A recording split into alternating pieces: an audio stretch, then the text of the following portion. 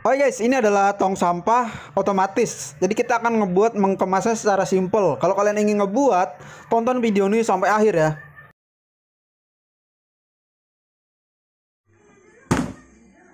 Ember ini kita lubangin ya di sininya untuk katup bukanya. Ini kita lubangin ya. Oke, siap, kita lubangin.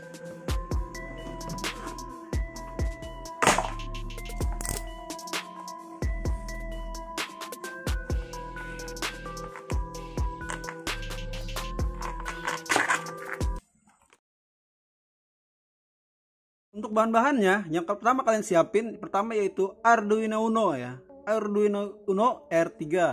Nah, yang kedua kalian siapin juga inilah sensor HC SR04 atau sensor ultrasonic ya. Nah, dan satu lagi kalian siapin servo. Jadi servonya kalian bisa gunain servo yang kayak gini ya atau yang kayak gini ya. Nah, Oke, kalau ini kan lebih mahal nih, lebih kuat dia. Karena besi ini ya gearnya. Oke, sekarang cara perakitannya. Kalian pertama, oke, yang pertama kalian siapin dulu ya. Oke. Saya udah nyiapin kabel. Nah, ini kabel warna ungu. Saya udah panjangin jadi saya rakit sedikit. Nah, ini warna ungu. Nah, ini saya, saya sudah kasih kabel dikit ya. Kita akan pasang dulu, rakit dulu ya. Oke. Yang pertama-tama kita pasang dulu. Kalian perhatikan di sini.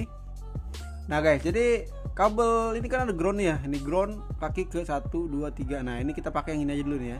Ini terserah pakai ground yang ini atau yang ini sama aja. Oke ini kita colokin sih sudah kabel yang sudah siapin tadi. Ini groundnya kita colokin nih. Ground yang mana? Ini dia. Atau kemarin juga bisa sama aja ya. Oke ground kedua. Nah ground ini oke ground ini ya ini kan kabel mail karena ini ya. Kita pasang ke mari guys. Nah kemari Oke, kali kalian cari bacaannya ground. Nah, ini GND, ini ground ya. Kita masukin kemari. Nah, setelah sudah terpasang seperti ini, saya kan udah bikin kabel ini saya sudah sobek sedikit ya.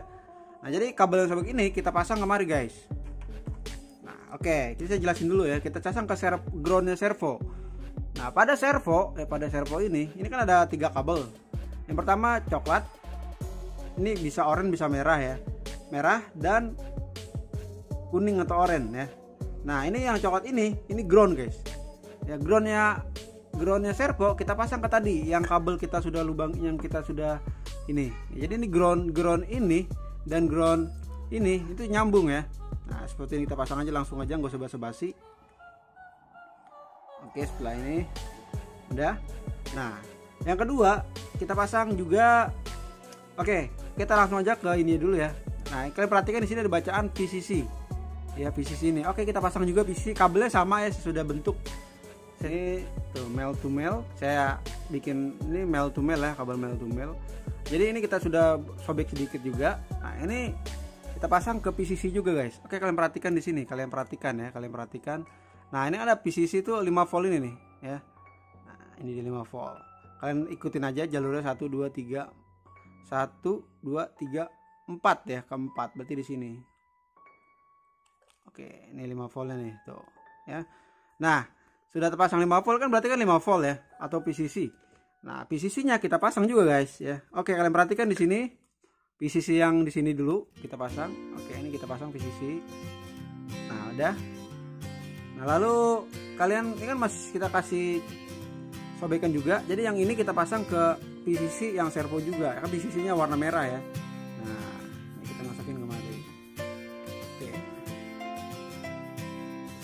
Aja jadi nggak usah banyak-banyak kabel. Ini kan karena kita buat proyek bak sampah.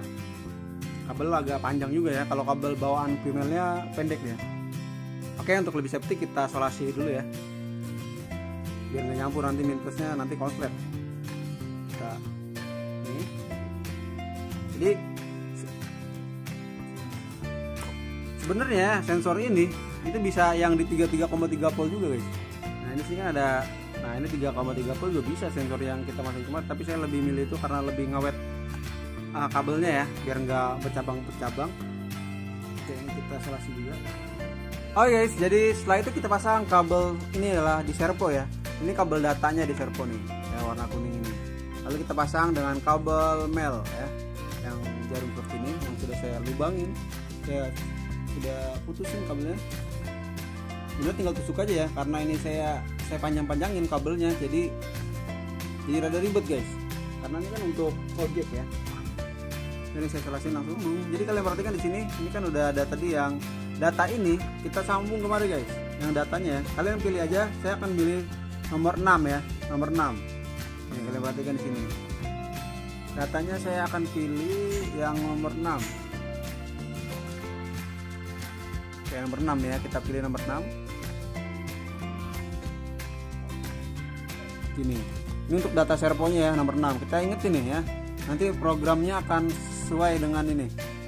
Akan sesuai dengan letak letaknya. Oke sekarang kita pasang lagi. Oke sekarang kita akan pasang yang di yang di HCRR ini ya yang di ultrasonic ini. Nah kalian perhatikan di sini ada bacaan echo ya. Echo ini jalur sini. Echo ini jadi dia nggak masuk kemari karena udah habis ya. Nah ini adalah untuk sinyal dari sini. Nah sekarang kita pasang guys. Kita colokin seperti ini. Oke. Echo nya warna hijau ya. Nah letaknya di mana nih? Kalian pilih aja. Ya pin mana? Saya akan pilih pin warna nomor 9 ya pin nomor 9 oke. Ini. Oke sekarang kita akan pasang ya. Kalau udah kita akan pasang pin trignya jadi trignya warna saya siapin kabel warna coklat nih. Ya. oke yang emailnya kita masukin kemari. Oke sudah nah sekarang kita tanda ini ya. Kita kalian pilih yang mana nih? Kalian pilih yang mana?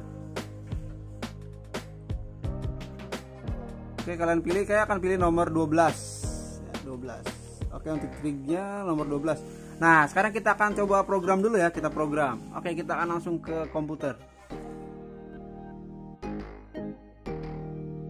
udah selesai kita rangkai tadi sekarang kita masukin kemari guys. Jadi ini kalian dapat kabel kalau beli dapat kabel ini ya. Kalian colokin ke PC kalian. Nah lalu kita pasang. Nah dia akan mulai.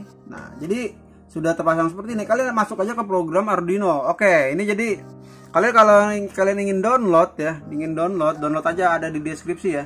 Nah jadi kita tadi kan kita udah sesuai nih. Ini saya nggak pakai screen recorder ya. Nah ini kan kita trik tadi di poin 13 disamain ya. Itu samain di sini. Nah jadi kalian kalau kalian nggak mau susah-susah kalian download aja filenya di deskripsi saya ya. Nah ini saya pakai 20 cm jaraknya dari ultrasonicnya. Ini 3000 3 detik delaynya dan ini 120 derajat bukaannya ya. Oke jadi kalian download aja. Biar lebih simple ya. Nanti kita akan bahas lagi tentang coding-coding di Arduino. Oke? Nah sekarang kita upload setelah udah di download seperti ini kalian klik ya. Kalian klik yang ini nih guys ya. Nah kalau kalian udah download kalian klik yang ini. Setelah masukin codingnya verify. Oke setelah verify udah mengkompling dia ya. Nah lalu kalian klik kalau udah down compling seperti ini kalian klik aja langsung ini tanda teman ini artinya upload. Nah ini sedang upload nih Oke, nah down up, uploading. Oke, jadi ember yang tadi kita udah buat ya, kita udah lubangin. Jadi kita akan pasang di sini servonya, ya. Oke, saya sudah buat ini ya. Nah, ini jadi kayak semacam besi seperti ini nih servonya ya. Jadi kita pasang seperti ini.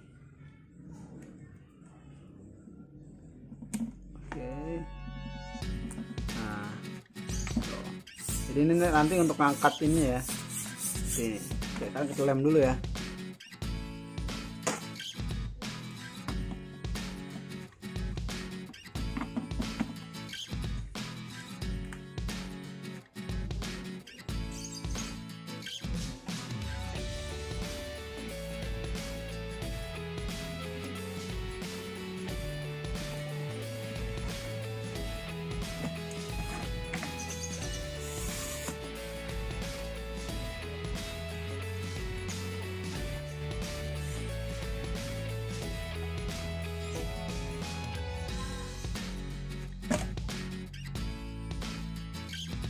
Kita tunggu hingga kering. Ini sudah merekat kita pasang ininya ya sensornya. Jadi sensornya ini kita hadepin ke tengah ini ya di tengah sini guys ya di tengah sini. Nih, kita pasang di sini dia. Oke kita lem aja. Kita lem aja. Oke kalau rusak kita beli lagi guys. Kita tonton sini kita tahan. Oke itu tunggu hingga kering ya oke guys jadi ini sudah jadi ya. Nah jadi di Arduino kalian taruh taruh di belakang aja. Nah seperti ini. Oke jadi kita tenaganya pakai charger HP aja ya. Oke kita kan coba tes sekarang. Oke. Sekarang kita coba ya. Oke kita masukin ke charger HP aja. Ini charger HP ya. Oke kita pasang guys. Nah jadi seperti ini. Dia nggak ada halangan Jadi dia nggak jalan ya. Oke ini kalian perhatikan di sini.